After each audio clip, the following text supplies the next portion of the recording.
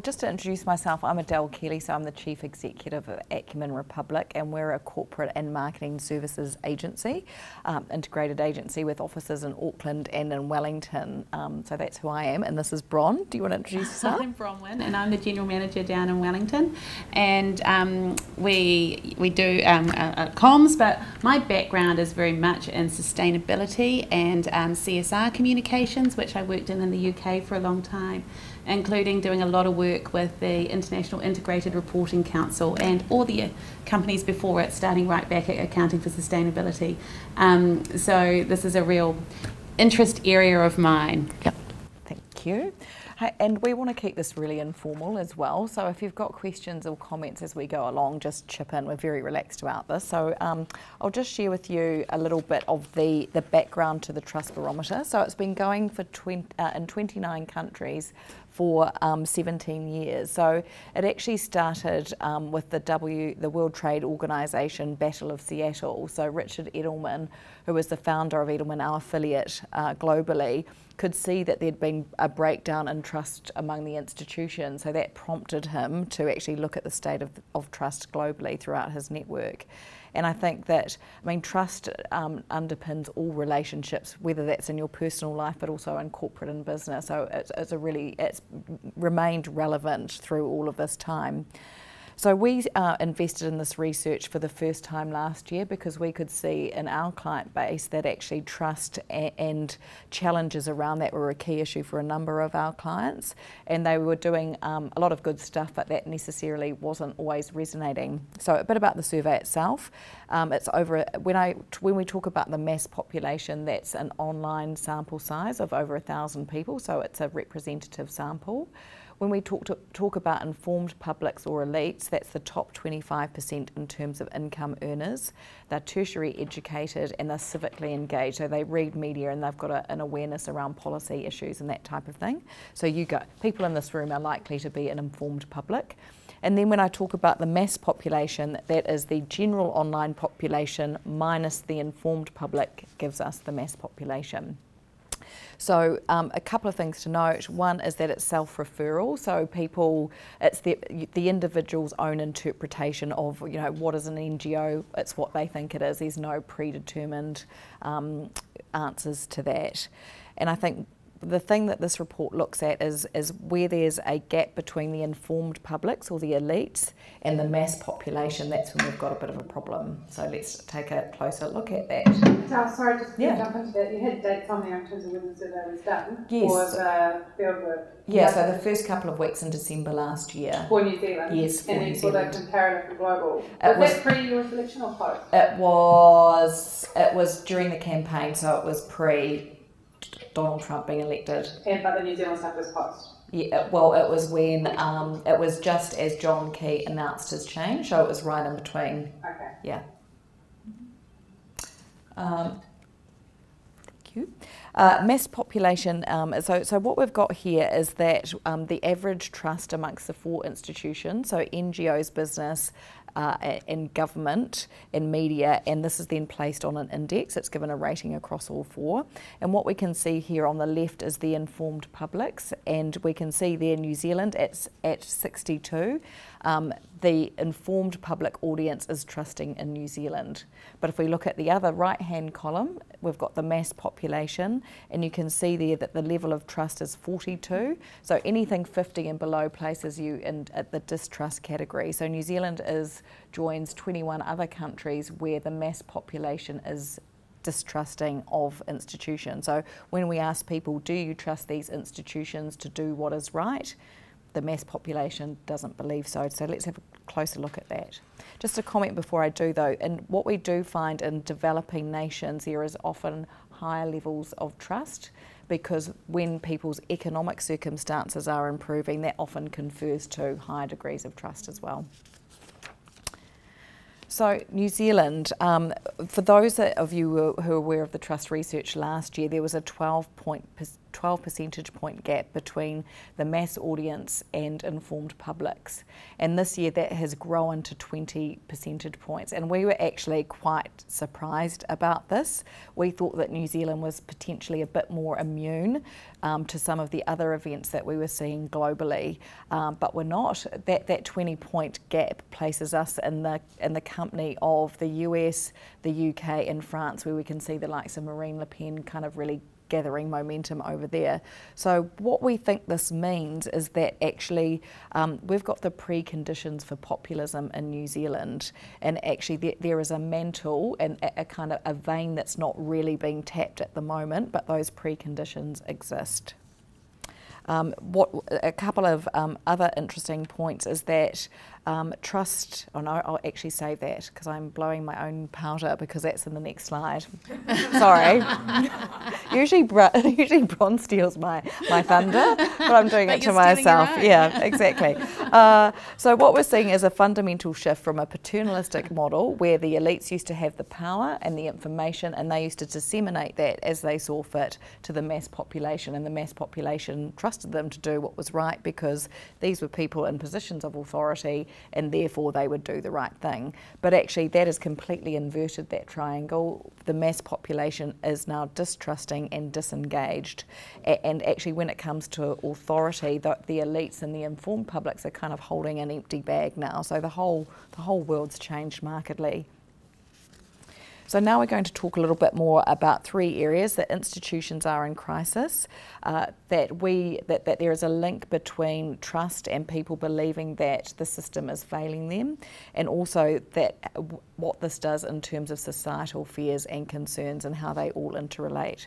So if we go first to institutions are in crisis, uh, we'll take a closer look at uh, the institutions in New Zealand and how that stacks up to global as well. So on the slide, the orange represents the global results from the previous year and this year, and the blue is the New Zealand results for the previous year and this year. And what we can see there that um, with the exception of NGOs who are hanging on by a thread at 51, all other three institutes, uh, institutions are in the level of distrust. What's really interesting is that trust in government has gone up five percentage points, and that's counter to a global trend. Globally, that has actually gone down. But interestingly, um, in the UK, that stayed flat, trust in government, and in the US, trust in government has gone up eight percentage points. So that's we again, but interesting. Um, and also trust in business has gone down four percentage points as well, and media has tanked even further. Um, we trust in media as an institution. So when we did that last year, we thought that actually the trust in the media might have been around at that particular time that research was done. Campbell Live was going off air, etc. Um, but actually, it's it slid down further, and I think that um, we are actually second only to Turkey. Uh, globally, in terms of trust in media as an institution. So, I think that media is now seen to be politicised, um, unable to meet its reporting obligations because of economic pressures and resourcing pressures. And actually, many traditional media are also following the social media agenda rather than setting the, the agenda itself. Um, if we do look at the example of Donald Trump, he kind of circumvents traditional media by using his own Twitter feed and creating news that way. And for a lot of people, he seemed to be direct and forthright and outspoken, but that's that's actually resonating. And we'll look a little bit at that um, closer a bit later on. Yeah, of course. Um, um, when, I, when I hear you guys talk about the comparison between certain countries, um, about trust and distrust and so on. Have, have you guys thought about, it's probably really difficult to do, but normalising the sort of cultural norms? Uh, you know, like Hofstede did all that stuff around um, certain certain cultures are a lot more trusting of authority or, yes. conforming to authority, yeah. others are less. So, so when a Turkish person is distrusting, is it kind of the same as a Kiwi being distrusting, if you know what I mean? Yeah, and there are variances around that. And, and when we presented this research, um, we have had David Brain, who is the chief executive of, um, of Asia, of the Middle East, and, and Africa, who's presented that with us. So um, there are, uh, you know, uh, he always uses a, an example of Germany actually being quite a tough crowd in terms of ranking, and we're a pretty tough crowd as well. So we, we ha- they haven't been able to normalise it that way,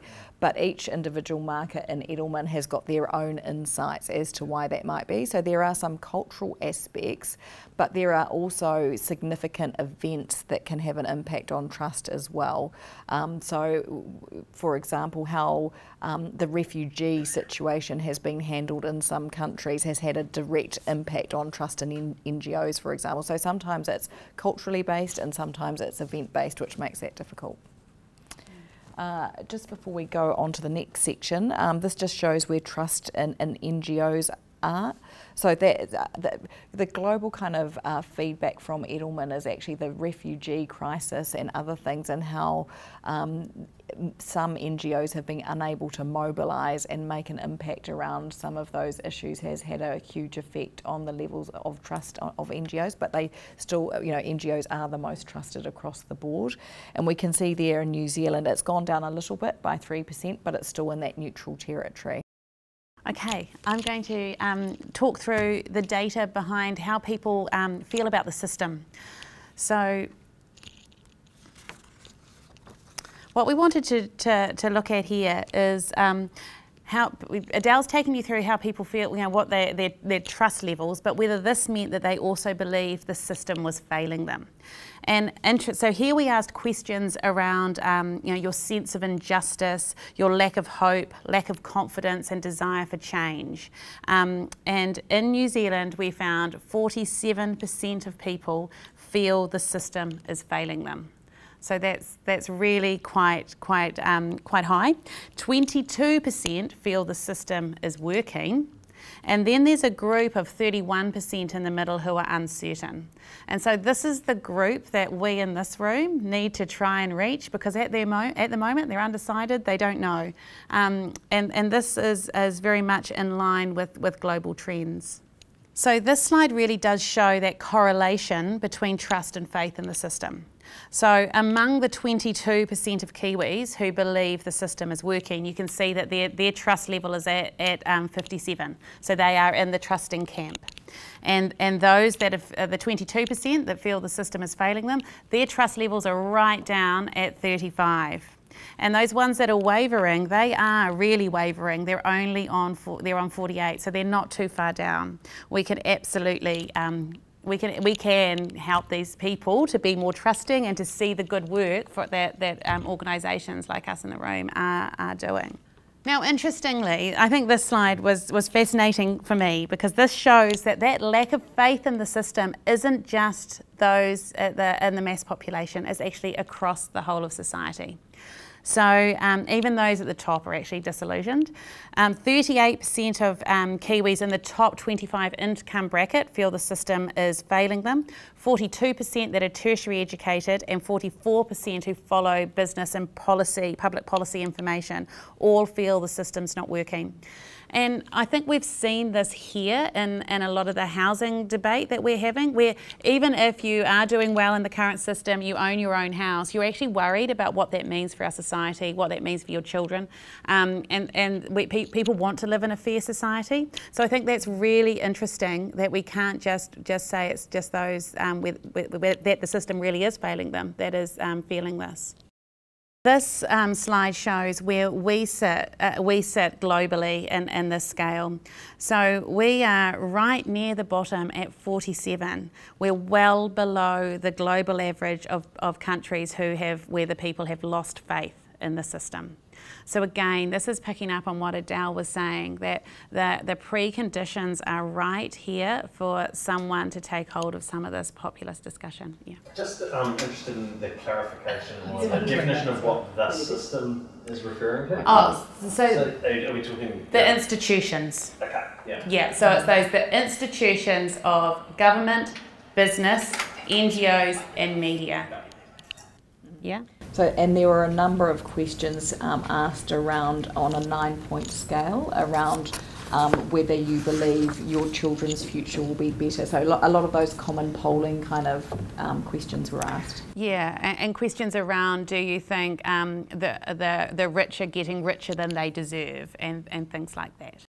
So now I'm going to talk a little bit about the, the breeding ground of fear, if you like. So this is um, the model of distrust. And here um, the, the theory here is that we're in this cycle of fear and distrust. And so distrust is leading to a lack of belief in the system, which leads people to feel more vulnerable. And then they, they worry more and they have more lack of belief in the system. It's like a virtuous circle going round. And there's a media echo chamber around that that is really helping, accelerating, if you like, the cycle. And it's doing that through communication and repetition of some of those um, some of those those messages. So we're really getting this this cycle of, of fear, and and that's that is where populist action can start to take hold. And we saw this very much in the US election. Um, so if we look at the, the voters, the um, Trump voters, 67% were fearful as opposed to only 45% of Clinton um, voters. So you can see where he really did appealed to those who are feeling threatened and fearful. Now this is a really another really interesting slide because confronting slide. Yeah. yeah, really confronting. This shows that the issues that we have seen in America, but also we're seeing in Europe and, and in Britain, are also the same issues that are here in New Zealand. We're not immune. Um, globalisation and immigration are our biggest concerns, followed by eroding social values and the pace of innovation. Um, corruption is the only one that, um, well, it's still in our top five, but um, globally it was number one. So, but it, it's still there. Um, and, you know, I think sitting in our Auckland and Wellington bubbles, we were a little bit shocked by some of this. To think that 26% of Kiwis actually fear immigration. That's not just concern, that's fear immigration, and 25% fear globalisation. You know, it's, that is quite confronting. And when we're going into an election where both of the main parties actually are, are you know, um, are open to free trade, that's, that's a really interesting position that we're in. And I think this does show that those preconditions are there if someone wanted to capitalise on them for some populist, um, for a populist movement. So I, I, think this is this is also interesting because there's a this shows that dynamic here of how we're worried about immigration and globalization, but we also see a little bit of what that we that we need it down here in New Zealand. So this this slide again is quite interesting. You know, 62% of us agree that the government should protect our jobs, even if that means the economy grows more slowly. 66% believe we need to prioritise the interests of our country, um, country over the rest of the world, yet only 37% agree that we should not enter free trade agreements. So um, um, that could hurt our workers. So we kind of want all the good things that come from free trade and don't and aren't, aren't willing to take any of that, that other side, and, and you can't get one without the other. So it's actually quite an interesting position that we're in, and I think we saw that with Brexit, where you know. Um, actually it didn't make to a lot of people it didn't seem to make economic sense but it still happened and um, i think it you know that that could happen here as well What's the differentiation between the mass population and your, uh, as the uh, informed public? Is there quite a difference? No. no, so no. so similarly to before, where we saw the trend about um, whether the system is failing, there is a little difference, but there's not a marked difference between mass population and informed publics, mm. which is surprising because in the past yeah. there has been a difference. Now, this slide really talks about that echo chamber in action. And um, again, really interesting for 28% um, of us, facts matter less. Um, we we would rather um, believe someone who said something, even if they were that we that something we believed in, if they're they're exaggerating the truth. And for uh, 56%, bias is the filter. We just won't listen to people that say that are saying things we, we don't want, we disagree in, uh, agree with.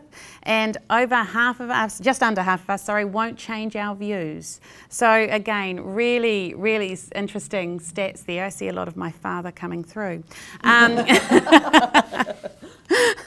oh, I hope he's not watching this. I think the really interesting thing here too is that the traditional media channels are not as powerful as they once were, and 61% of us are likely to believe the information they see at the top of a search engine than something that's put forward by a human editor. And now, you know, we all know that actually how you get to the top of the Google ra rating is a little bit of earned, but a lot of paid as well. So that's quite an interesting thing. And this also feeds into that echo chamber where you are searching, you're, you're getting your own news, you're searching for what you want to read, and that's, that's really contributing to a lot of this. So we then asked um, respondents uh, questions where they had to choose between two options of the, um, the types, the sources of information they wanted. So we were asking about the different source, the different format, and the um, different style of communication and 68% uh, would believe, more likely to um, believe an individual than an institution. So that's quite interesting for both businesses and for NGOs about how you present some of your information. 62% um, would rather believe in a, a reformer than a preserver of the status quo and 66% believe leaked information over company press statements. And that's quite interesting as well for us in the room because we kind of know the difference there. So I'm going to hand over now to Adele to. So now that we've been cheered up by all of that great news, um, what are we? What what should we or what can we all do about it? Um, I think that this looks at expectations and how, how we as uh, organisations can respond to it. So 75% of people agree that businesses need to do more than deliver a return to shareholders, that actually that there is an expectation that they should make a, a contribution to the economies, the communities that they operate in as well. So actually delivering a return on its own, it's not enough anymore. Was that figure measured over consecutive years? yes. It's about the same, roughly the same as it was last year. A little bit off, but yeah. Um, th this looks at NGOs being the most trusted overall, but actually among the uncertain, so our you know our swing voters, if you like, or, or people that can go either way, um, business remains the most trusted institution. So there, you know, we feel that there is um, that, that there is hope there. Um, and just recapping on the information on the slide, green shows that there is distrust. Um, the, the blue is trusting and the lighter blue is neutral. So if we look at the left-hand column um, where for the 47% of Kiwis who believe the system is failing them, they, um, they trust NGOs the most and they trust nobody else in terms of the other institutions. If we look at the far right column, so the 22% of Kiwis who do believe the system is working, they, they trust government the most, followed by business. they're neutral towards NGOs and do not trust media. So it's this uncertain group that we think that we, it's in our interest to shore up trust with this, this group um, to prevent um, a populist movement getting traction here, which could see protectionist policies, greater restrictions, etc., that could ultimately harm the, the way of life that we hold so dear here in New Zealand. We also argue within this that um, business is possibly the most uh, able institution to try and address trust issues because they're the most flexible and the, the most well resourced and they're actually working in partnership with, with, with, the NGOs is a real opportunity to try and um, talk about what their purpose is and share their stories in a way that's going to resonate. So what can, what can business do? First of all, they can do no harm. So these are the top five things. When we ask people what um, what can businesses do that would do the most damage to, to your trust in a best, better future, the first thing is pay their executives lots more than their workers, many times more. So if we think about the recent Adrian Orr super fund example and Bill, Bill English, the Prime Minister, coming out quite firmly on that, that would have really resonated with our mass audience. I won't say what I was going to say then. Um, uh, the second one is overcharge for products um, that people need to, to live. And so remember, this is perception based as well. Um, so, you know, basic groceries, those, you know, fuel, etc. If there is a perception that that's too expensive, then that that will impact trust moving profits to other countries to avoid tax. We're seeing a lot of heat on that across yep. the board at the moment. And um, I, I, guess in our business, the, the, the, kind of statement around we comply with all local laws and obligations, it's just not cutting it anymore um, moving jobs to, from this country to other markets for cheaper labour. And, and the fifth one, which we were really surprised about actually in New Zealand, where we again thought we were a bit more immune, it was paying bribes to government officials to win contracts. So remember, this is self referral. So our interpretation of that, it's not money exchanging hands per se, but it's, it's more perceptions relating to cronyism and that, that sort of thing. But is it also because um, that sort of corruption is some would find it unthinkable in New Zealand, a country that ranks quite high in like corruption. So maybe, yeah. maybe yes. you know, when you when you say to someone what do you feel about that, they think this is awful. You know. Absolutely. Absolutely. But I was so the ones I'm just looking at my list here. So uh, numbers. Yeah, there has been yeah. a couple of high-profile cases. Yes, yeah, just very recently. But we were surprised that that was higher than reducing cost, reducing cost by lower product quality, reducing costs by cutting jobs, fight to weaken regulations. Um, to protect the environment and ensure quality of safety in products. So that it, it, kind of ranked higher than some of those other things. I, think, there was, there was something interesting in this. JWT had done some methodological research about what, what, around New Zealandness, and one of their insights was that we now value ethical behaviour more highly than number eight fencing line mentality. So I, I do think there's something in a particular attachment to the idea that kind of that stuff is part of our is culture yes. part of who we are. So absolutely, yeah. which is a perfect segue to my next slide on ethical. But yeah, thank you. You knew what was coming next, didn't you? Um, so basically, what this slide tells us among and, and the the um, the blue is the uh, the population that believe the system is failing. So that's almost half of Kiwis, forty seven percent, and the lighter grey is the general population. So what this essentially tells us is that among those who believe the system is failing, you need need to do more. Their expectations are higher of institutions. So if you're going to win back their trust, you need to work really, really hard at it. And where are the areas that you focus? Ethical business practice is really, really important. Um, employment, uh, treatment of employees, um, so they can be your advocates, equally important, and responsible action to address a, in a crisis as well. So actually not shying away from your responsibilities. Kiwis love it when, you know, if you if you make a mistake that you front up and that you own it and that you put it right and actually you're committed to doing that. Um, so we, we again see that a lot in our business that actually um, you can have some um, unexpected consequences that are actually quite positive in, in times of strife that actually if you, you go about it the right way um, people are actually often more forgiving than, than you sometimes think. Just don't do it. What's the definition of, apologies if this sounds very basic, no. ethical business practices? So again, that, that, that, that's the that's the self-referral piece. So that could, when you are, you know, your response, your, your interpretation of that might be slightly different to mine. So, yeah, there's no defined answer to that. Um, this looks at, um, in terms of then, if who is best then to carry the messages for organisations. So there's clearly a need here to talk about as organisations how we how employees are treating. What are you doing in the areas of ethical business practice and doing that in a way that's going to engage and inform people. Um, we can see here that actually um, a person like yourself and technical experts are still the most trusted in terms of carrying messages. Um, chief executives and board direct, board of directors don't fare so well, um, but I think that a lot. I mean, I think the general expectation is that a chief executive um, is likely to put a slightly more positive spin on that, you know, or, or position things in a way that's not going to harm the reputation and the brand of their organisation. Um, NGOs have come down a little bit here, but also academic experts are really important. So for us as communications experts, this really um, is kind of quite insightful because it, you want to make sure that you're connecting with your audience. So we need to think about carefully getting the right mix of people to share those stories across different channels. Um, second to last slide.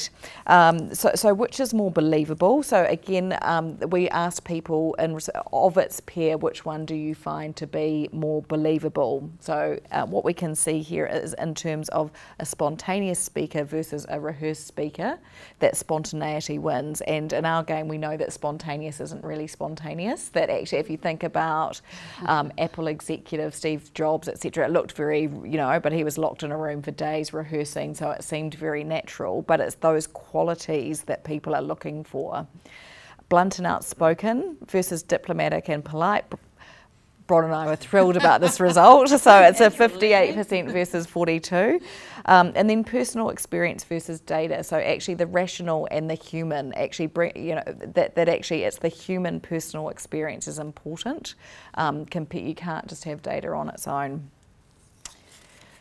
So in summary, we think that um, organize, organisations, particularly business, need to do um, things a little bit differently. So, uh, and if we go back to the slide where business is the most trusted by the uncertain, so the 31% of Kiwis who kind of sitting on the fence there, that um, because business has got the flexibility and the resources to shore up trust, we think that they should absolutely do that.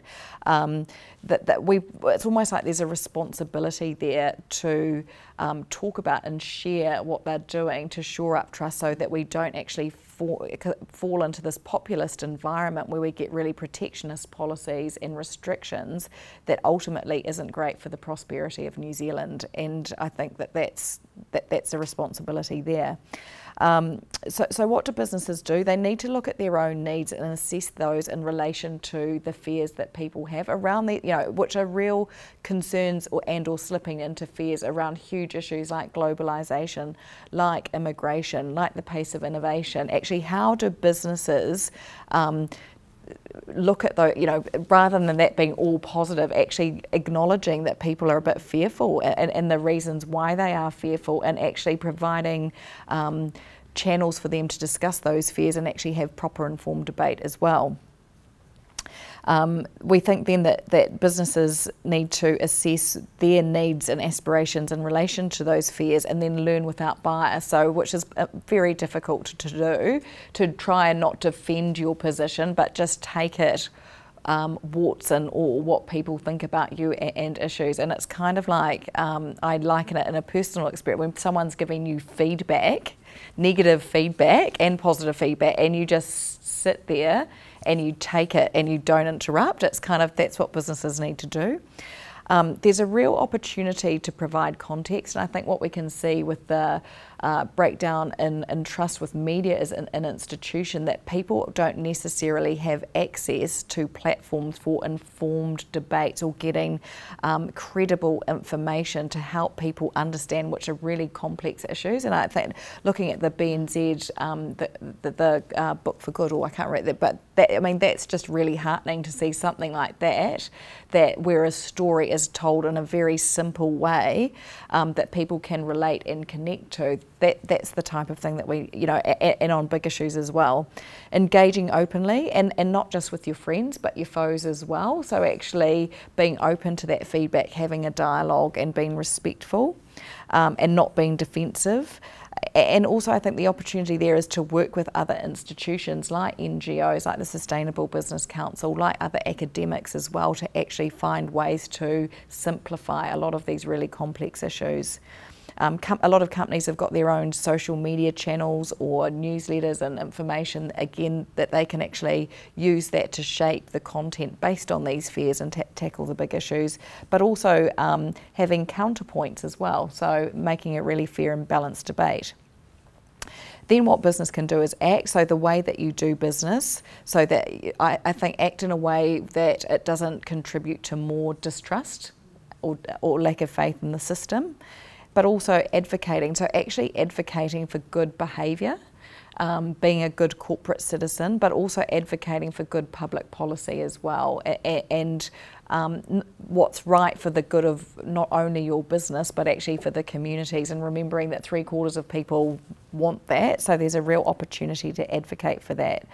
So we believe that the onus is on business, so the one institution largely um, that retains some trust to actually um, act in the interests of not only their shareholders but society as well to kind of first do no harm but also to minimise the risks that we can see are, are just here, right here, right now. So thank you. Any questions?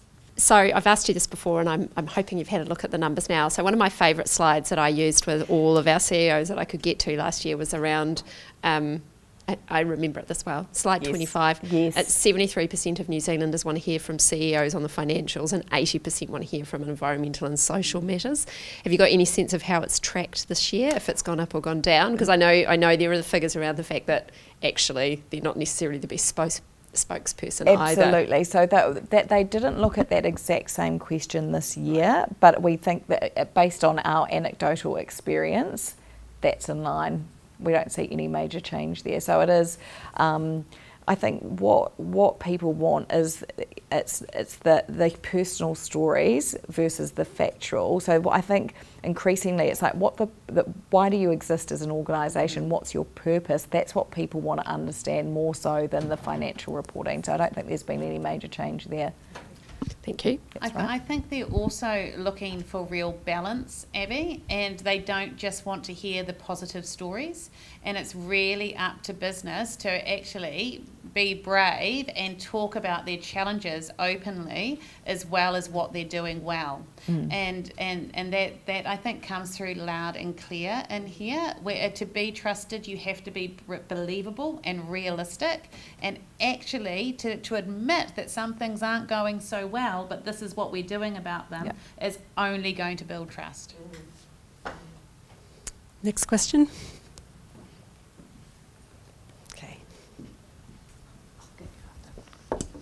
Um, oh, it's big mic. Um, I had a question on the media slide. Um, when you ask about media, do you just talk about New Zealand media or media globally or media as an institution. So again that's a self referral so it's not we don't specifically say New Zealand media. So looking at the, at the research people in New Zealand actually consume global and local media. So I'd say it's actually probably a mix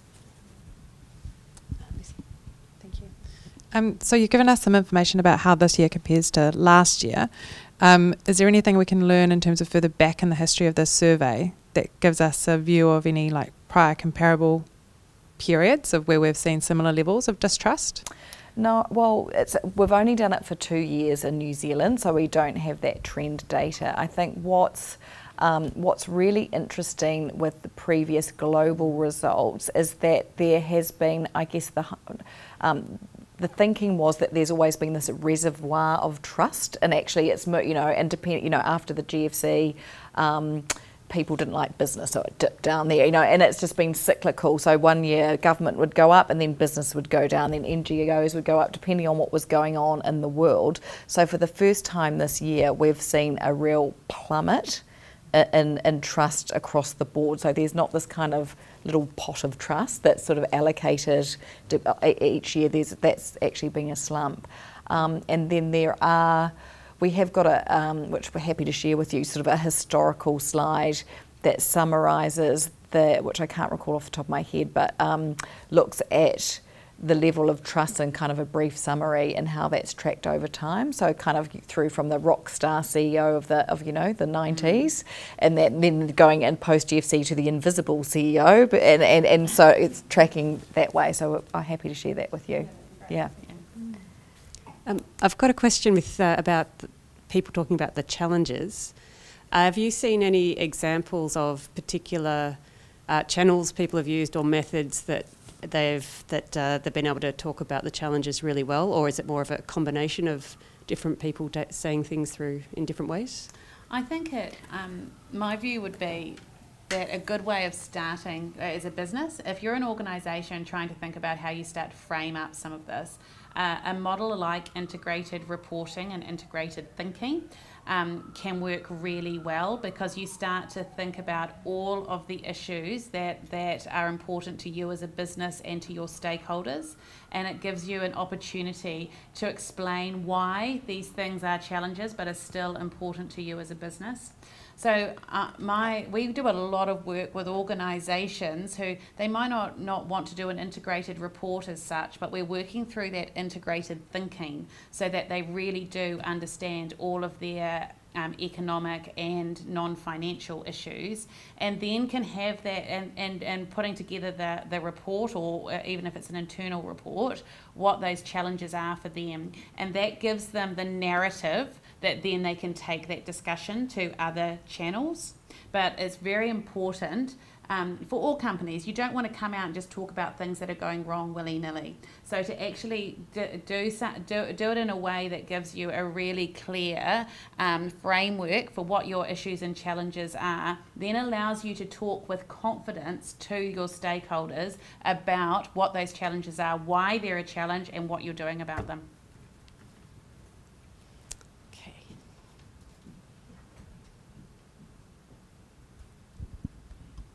Just to add to that, I was lucky enough to work for New Zealand Post, who were the first yes, um, yes. New Zealand company to pilot the integrated reporting model. And at the time, it was championed by Mark Yeoman, who was our chief financial officer. And he described doing an integrated report um, as speed dating because it let your customers get to know the bits of you that you would like them to get to know before they decided whether or not to do business with you. And so getting that balance between th- this is kind of what I value. I hope that you can trust me enough, but I'm not perfect. Yeah. Mm. Do you want to see how it's going to go? Yeah. yeah. Absolutely. So, and I think a lot of that too just reflects the nature of his personality as well, where it comes back to the way that you present um, you know, what, what is a difficult thing for people to engage with?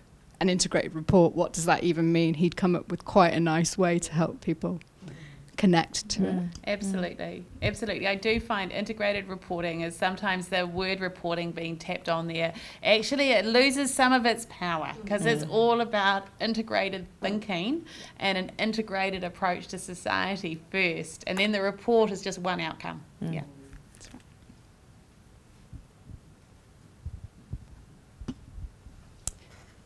I'm developing a hypothesis. oh dear. Um, yeah, you should be worried. So because so much of this relates to the uh, to social license, right? Yep. And and I guess the thing I'm starting to wonder about is the extent to which the individual social license, which relates to a business, actually, if we need to start thinking about social license for institutions at a broader level. So I kind of have the sense that business can only really ever float as high as the tide. And so low levels of trust for business generally raise barriers which impose mm. cost in business in all sorts of ways. Um, and so you've kind of got the sense of it being at that level, and then there might be a sectoral issue around trust as well, where it's higher or lower.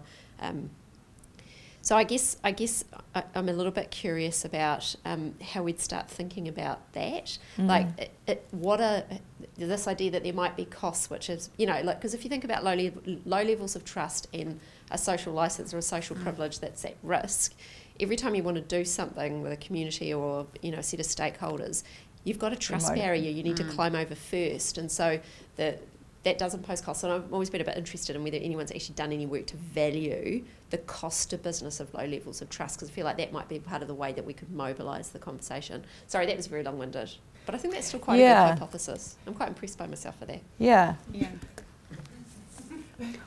I, I, I, I, yeah, I don't know, but the, I suspect that there, I think that's a very valid kind of hypothesis to have a look into. That, and I don't know, it would require economic model, modelling, but um, mm. which is certainly not my forte. But I think there is actually the value of it or the, the opportunity cost.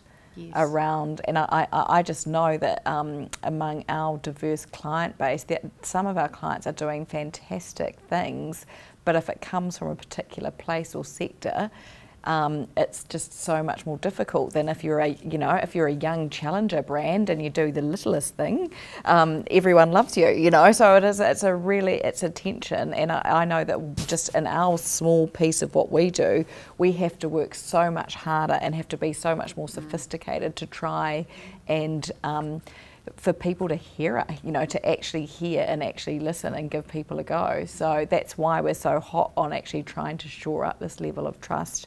Um, we have don't didn't include the slide in, in this particular um, presentation, but uh, across pharmaceutical, across uh, having a, um, a tax on foods that are bad for you, there is huge support for that in New Zealand.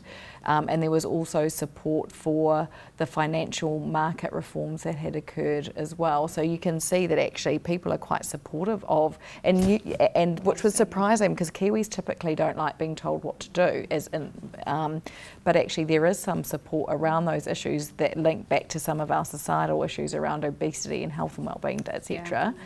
People are yeah, actually tighten up on that. Huge cost, yeah. huge barrier.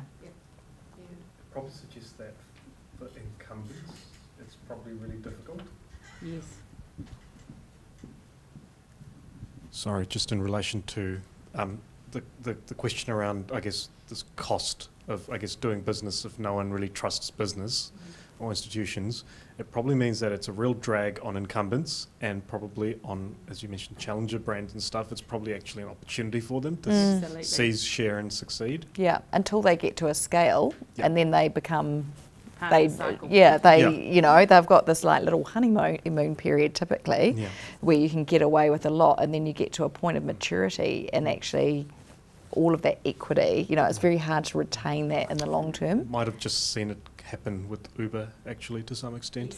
Yes. You know, absolutely. Right. Well, which I think that's a, such an interesting example because it's such a conflict in terms of um, some of the because um, of the utility of that and the service. People love the convenience of that. Um, and it's sort of it's just disrupted the model. However, some of the tax practices, etc., are completely with at odds with what people want. But it's kind of because of the utility of it, people are just overlooking it at the moment. But I'm really interested to see how that will go. I think it's term. starting to swing, and I think you know the president stepping down and those damning comments he made. Right? I mean, they really struck a chord with me. Absolutely. Um, that that he, he would so publicly say this is not in keeping with my values, I think is um, really interesting. Yeah think we've got time for one more. Okay. Um, two questions. Um, um, um, you mentioned the uh, referral, self-referral system, and thinking about government, is there any distinction between local and central? Mm-hmm. And purely unrelated is, have you looked at the figures um, from a subnational um, level? No. no. so, so, so again, self-referral. So if people wrap local and central government, that's just how they perceive government to be. And unfortunately, it, it just with this going across 29 countries, it, yeah, it gets a bit complicated. So we've just kept it at the top line. Just at New Zealand. Yeah. yeah. Okay. Anything else? Anyone else with a burning question? Um, okay. Um, I think I can't see any from the live stream. We've, we've had some people watching from the regions, so Thank you to, to people who have uh, tuned into live stream. Um, thanks everybody for coming tonight, and please do stick around for some drinks um, and a bit of a chat. I know you've got to get to the airport, um, but if you're able to stay around for a little, sure. and um, I'm sure we've got some more questions that'll come up. And will it be possible for people to see this set of slides? Yeah, absolutely. Great. So we'll have that, that for all members yeah. available through our website. We'd just ask it that you attribute us, unlike some journalists who didn't. okay. And you know where to find us if we forget. Exactly. Yeah. I, I know where you live. And if anyone does want to talk more about any of these issues, we um, would be delighted. So, yeah. Thanks, guys. Wonderful. Thank you, Thank you for having us. Thank yeah. you.